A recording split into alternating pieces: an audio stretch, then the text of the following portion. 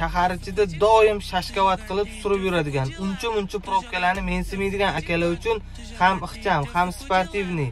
Yana kamiga bitta zaryad bilan 400 kilometr yuradigan elektromobil bor ko'rsataymi mana o'sha mashina BYD Seagull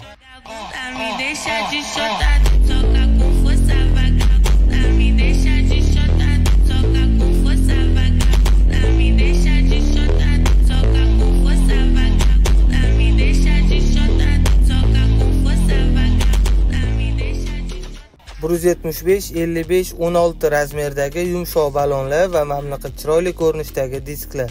O'zgacha ko'rinishdagi va eng muhimi mashinaga yarashib turgan old va orqa faralari. 30 kilovatli batareya 74 ta ot kuchi va bitta to'liq zaryad bilan 405 kilometr masofani bosib o'tadi. Moshinani interyer qismi juda ham chiroyli ko'rib turganingizdek ortiqcha narsalardan voz kechilgan shunaqa chiroyli ko'rinishdagi multirul bu yoqda texnik parametrlar uchun kichikroq hajmdagi monitor va mediani boshqarish uchun ingliz tilidagi katta monitor joylashtirilgan. Monitordan pastki qismda ko'rib turganingizdek mashinani harakat selektori juda ham необычный qilib ishlangan.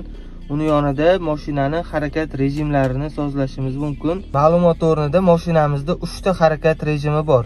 Eko normal va sport rejimlarida siz bemalol harakatlanishingiz mumkin. Mashinadagi joy birinchi va ikkinchi qatorda ham yetarli darajada mavjud. Bundan tashqari o'ziga yarasha ixcham bagaj qismi ham mavjud. Mashina sizlarga qiziq bo'ladigan bo'lsa pastdagi nomerlarga telefon qilib to'liqroq ma'lumot olishinglar va albatta ushbu mashinamizni sotib olishinglar mumkin. Ha aytgancha boshlang'ich o'ttiz foizini to'lab bank orqali avtokreditga ham olsanglar bo'ladi